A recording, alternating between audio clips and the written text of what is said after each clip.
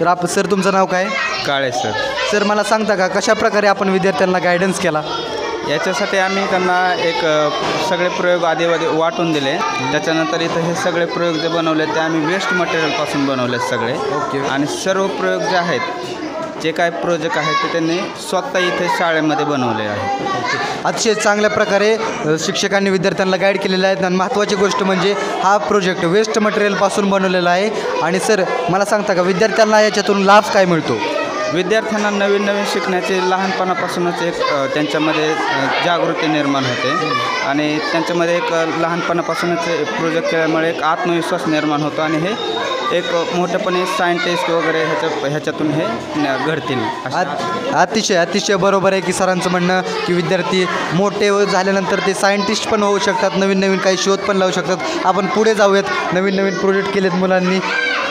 तर इकडे एक वाइंड मिलचा प्रोजेक्ट चालू आहे. तर तुम्ही कोणता प्रोजेक्ट केलेला आहे? पवन चक्की. पवन चक्की. तर तुम्ही दोघांनी मिळून केलेला आहे? तिघांनी. तिघांनी. कोणी कोणी? बरं तर मला या प्रोजेक्टबद्दल थोडी माहिती सांगाल का Good morning, sir. My name is Kunal Tester of Standard Board.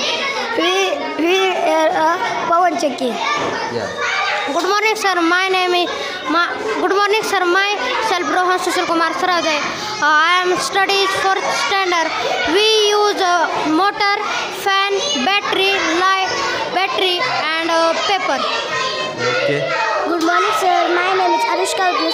standard third. We, when we join this wire to this motor, start the fan.